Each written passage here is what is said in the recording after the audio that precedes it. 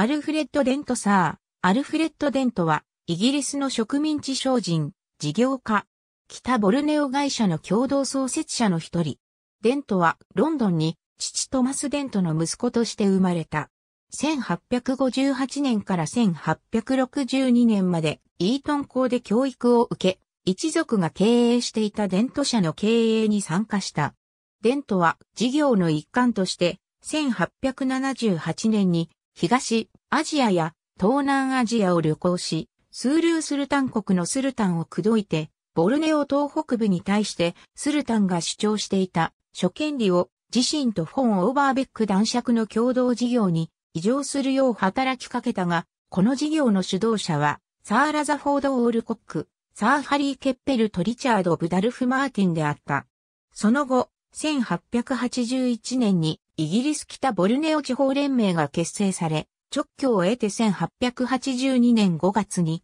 北ボルネオ会社、別名北ボルネオ勅許会社が設立された。デントはシティ・オブ・ロンドンに拠点を置く商社、代理商のデント兄弟社の代表となった。デントは他にもカレドニアン T エステート T エステイツの会長や上海電機、インドオーストラリア中国直居銀行、ロンドンカウンティウェストミンスター銀行や王立取引所保険社の社長などを務めた。